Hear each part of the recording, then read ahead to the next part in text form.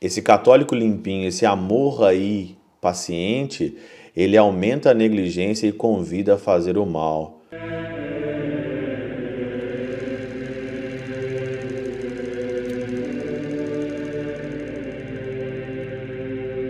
Pai do Filho e do Espírito Santo. Amém. Olá, meus queridos amigos, meus queridos irmãos. Nos encontramos mais uma vez aqui no nosso Teose.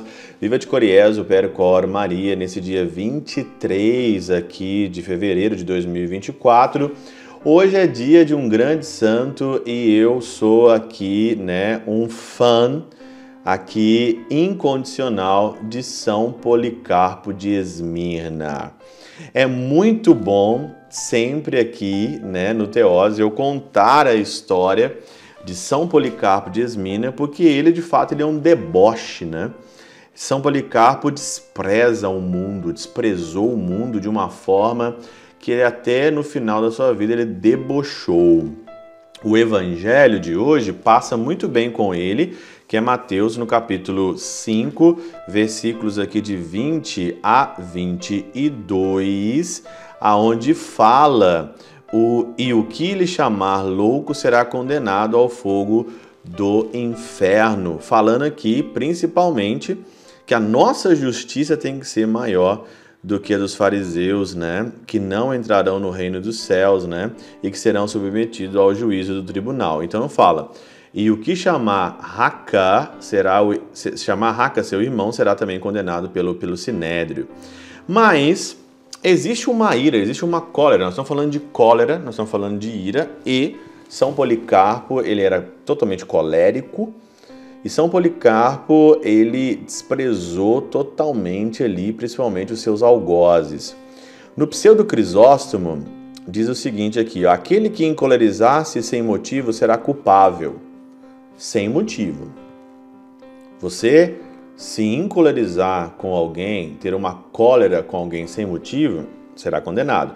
Aquele que se encolerizar-se com motivo, não, pois se não existisse a ira, de nada valeria a doutrina, os tribunais não estariam constituídos, nem os crimes se castigariam.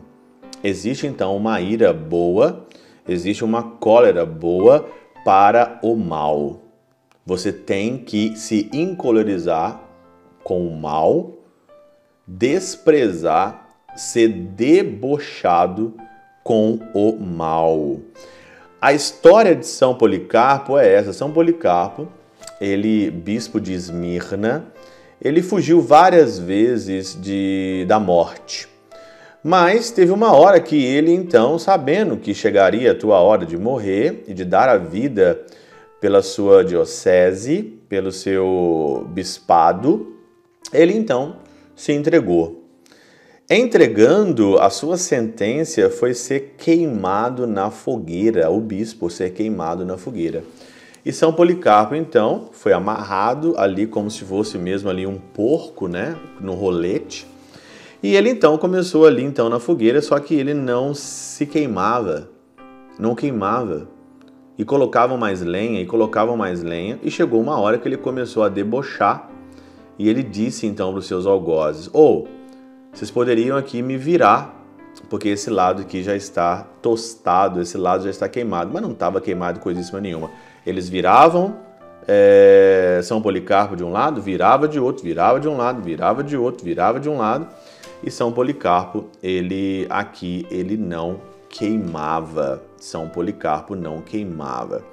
E isso foi muito interessante porque ele debochou, ele se encolerizou, ele tinha uma ira ali que ele debochava daquela situação. Depois ele foi decapitado e aí então ele, ele morreu.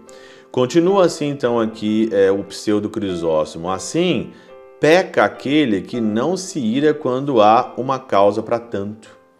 Quando você não se você não se fica, quando você não fica indignado com o mal, quando você não fica indignado, e hoje nós estamos vivendo uma dimensão de tanto catolicismo limpo, aqueles católicos limpinhos que não pode fazer nada. Nossa, o padre falou um palavrão.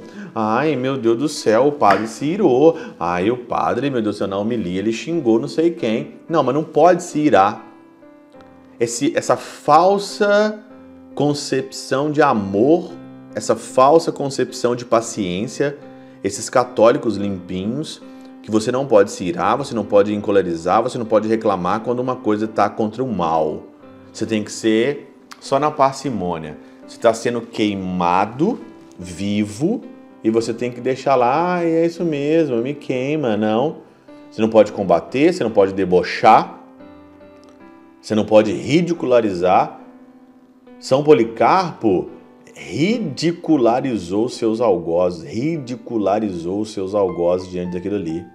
Jesus tem uma outra dimensão. Jesus também ridicularizou muitas das vezes no seu na sua sentença, ele ridicularizou também quando Pilatos deu um tapa nele, né? Quando Pilatos não, quando o, o ali o sacerdote deu um tapa em Jesus no sinédrio, o Senhor perguntou: "Por que tu me bates? Falei alguma coisa errada?" Um deboche ali em respeito ao mal ali.